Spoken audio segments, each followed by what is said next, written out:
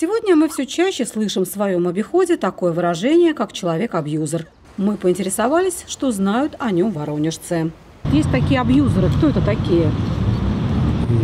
К сожалению, не знаю. Хотя стремлюсь быть в теме. Это человек, который пользуется ну, либо своим положением, вот, и как-то...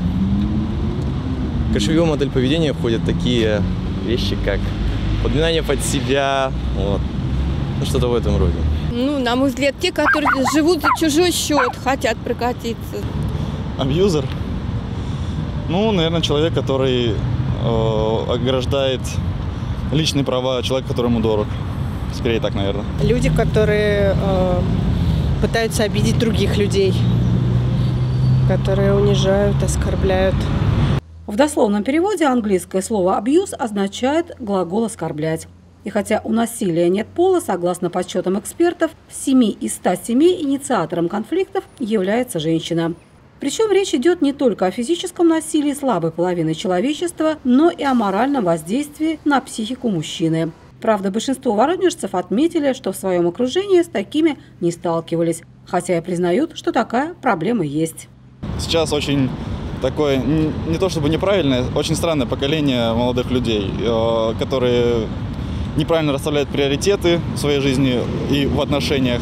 Вот, и, так скажем, насмотрелись иностранных фильмов, сериалов и пытаются подражать своим кумирам. По мнению некоторых, модель поведения у женщины, как, впрочем, и у мужчины, формируется главным образом в семье. По сути, мы копируем отношения наших родителей, причем происходит это чаще всего на бессознательном уровне. Ну, то и то. Но я думаю, больше зависит от воспитания. Как, как в семье было, так и человек себя будет вести. Ну, то есть, например, если в семье эта девушка был патриархальный уклад семьи, то, скорее всего, вот, она захочет завести себе такую же семью. Если удачный опыт был, конечно. Вот.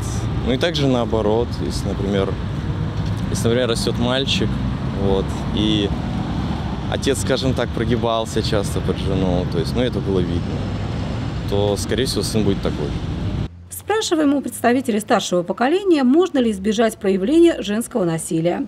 Ведь зачастую мужчины сталкиваются не столько с физическим, сколько с моральным насилием, будь то скандалы, манипуляции и просто женские истерики. Нет, супруга нет, потому что мы одинаково примерно поколение. Э, у нас более-менее размеренная, ну, будем говорить, нормальная, не хочу хвалиться, жизнь. Мы трезво подходим к жизни, взвешиваем его и оцениваем его. Прежде чем говорить какие-то слова и резкости высказывать друг другу, мы анализируем, в общем-то.